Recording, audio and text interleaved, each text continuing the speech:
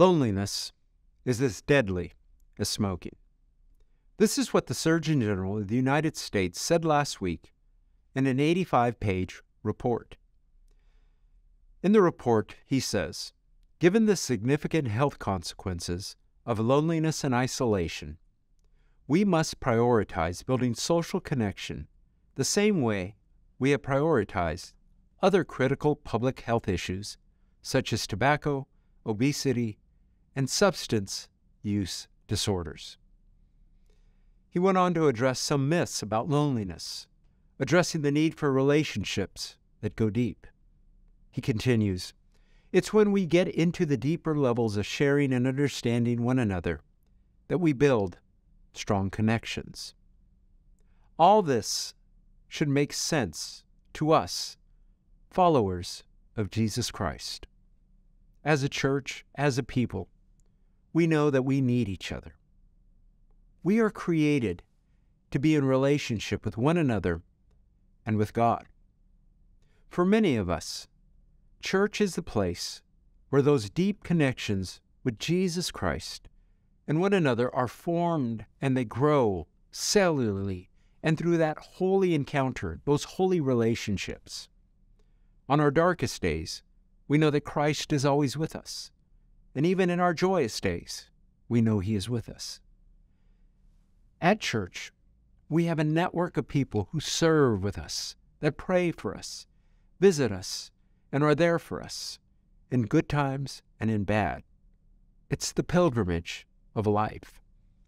But for some, church is a place where we are lonely, surrounded by people that never really accept us, but smile as we enter and then forget us or even ignore us. I have said this many times before. There is a difference between belonging and welcoming. If our churches are truly to be places where people can encounter the love of Jesus Christ, they must do more. We must do more than simply offer words of welcome. Our churches need to be a home, a place where people belong. Helping someone know that they truly belong doesn't come from a program. It comes from the revolution of the heart, heart to heart, voice to voice, journey by journey. And it doesn't matter if they look like us, talk like us, dress like us, or vote like us. We are called to love and accept each one for who they are and how they were created, just as Jesus loves and accepts us. Let us never forget that loneliness doesn't have just one face. It can be masked by a smile, a laugh, or the appearance of having it all. Right now, our nation and our world are filled with people longing to find that deep connection.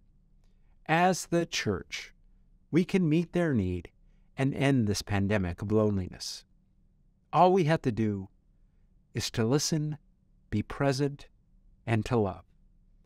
This is how you fill your pews with people. This is how we fill our hearts with one another. You do not need a new committee to let someone know they belong. Don't settle for offering a welcome.